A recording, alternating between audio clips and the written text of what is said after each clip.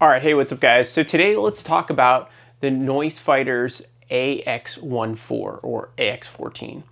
So the AX14 is their version of a PVS-14 J-arm. And a PVS-14 J-arm, as we all know, uh, especially if you're in the Army, um, was a trash J-arm.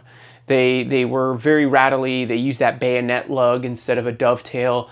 Um, they didn't, didn't really retain the 14 all that well, but overall, the 14 was, or the, sorry, the J arm that went with those was a sacrificial piece. So it was meant to be a little loosey goosey, but also fall off or get knocked off as a breakaway just in case because the mount didn't have a breakaway. Nowadays, our mounts have breakaways, or most of them do, so it is a little easier to kind of get away with that, uh, even though the breakaway feature is only specific to a couple people. So if you're driving um, some kind of vehicle or running through the forest or something like that, it's kind of nice to have. Uh, mainly because if you get caught on something, um, it's way more expensive to replace your neck than it is replacing your night vision or the J arm uh, that, that there was. Uh, so they were kind of used as a sacrificial piece.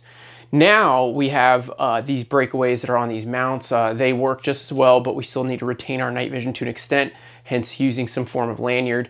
Um, and, uh, and you guys know I, I, already have a lanyard system called the Nerd, so you guys are welcome to check that out if anything. But today let's talk about the new J-arm or the J-arm, the AX14 or AX14 from Noise Fighters. So uh, Noise Fighters, you probably know, uh, also has the Pano bridge. Uh, we'll talk about that one in a separate video one of these days. But I wanted to introduce the, the J-arm because it is very enticing. It's lighter weight, stronger, and costs way less than most of the J-arms on the market. So it's nice, uh, nice little addition to the game. So let's let's get into it. We'll go tabletop so I can show you guys everything, and then I'll cut in some views of me wearing the helmet and uh, articulating it and stuff. So. All right, guys, so now on the tabletop, let's let's get a little bit more nitty gritty with this little guy. So let's take him off the, uh, the helmet and let's talk about some of the, the features and then we'll talk about stuff while it's on the helmet and, uh, and, and cut in some stuff of me wearing it. So, so some of the features of this little guy in the, A, the AX14 is, super, super lightweight compared to some of the mounts out there and I'll show you guys one of them. Uh, here is uh, in reference to the Wilcox mount. So the Wilcox J-arm is pretty popular. Uh, I've used one for years. I like it. Uh, and it is a little heavier than the, uh, the Noise Fighters one, as you can see. So just something to be aware of, you know, it's not a big deal, but it is extra ounces that you're adding to a PVS 14 that already weighs a bit. One, it mounts like normal, right? Using a screw and a flathead screwdriver, nothing crazy there. So very easy to mount. You can, you can use a piece of brass to get it on there, tighten it, things like that. I don't normally Loctite these, uh, I try not to, but I definitely check them often because there may be some deal that, uh, hey, maybe I missed it or maybe I forgot. Or if you're using this primarily together and you never take them apart, uh, it wouldn't be a bad idea to use a witness mark. The, the fact that I take this off so often, I don't witness mark it, but that is a thing you can do just like you do on your RMR screws or screws that are on your rifle uh, attachments. So going up the arm here, we get to the elbow. The little elbow here allows articulation, which is really cool. It's definitely a different feature for a, uh, a PVS 14 arm or J arm and it gives you something that I haven't seen a lot of arms allow you to do.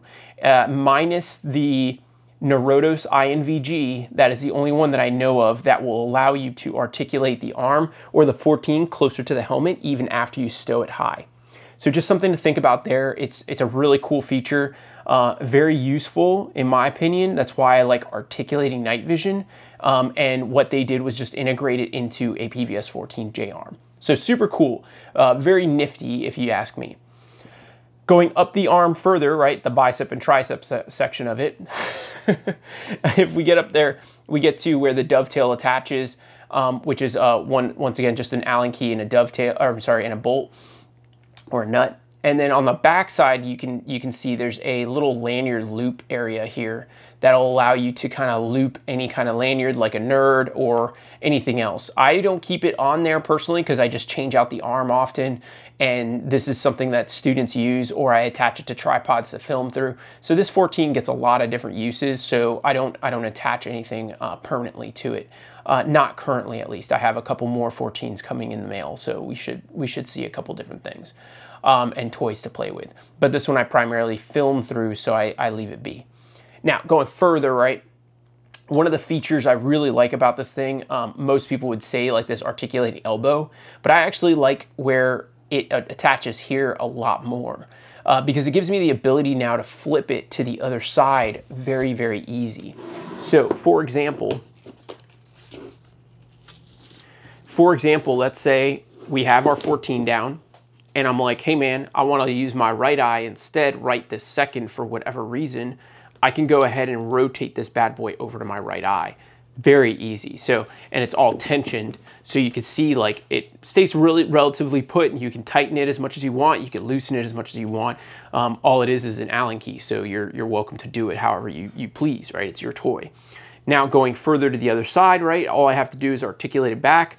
And I usually articulate it all the way and then rotate back down with the elbow because I like leaving my elbow a little looser than the actual uh, mount. So it ends up bending uh, more often than not. But up to you, right? Once again, you could change the tensions to what you want.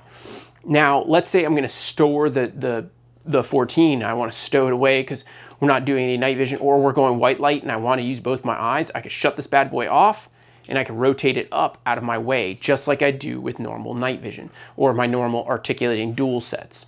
So that gives me a feature that no other 14 does for me, uh, minus the closeness of the INVG mount from Norotos. Like I said, it gives you something similar, but not exactly like this. Now, um, like I said, the AX14 arm is just a J-arm replacement, right? It doesn't make the unit stronger, faster, you know, lighter, doesn't give you better specs, um, but it does give you a good mounting surface to go against the mount uh, that you're gonna be putting on your helmet.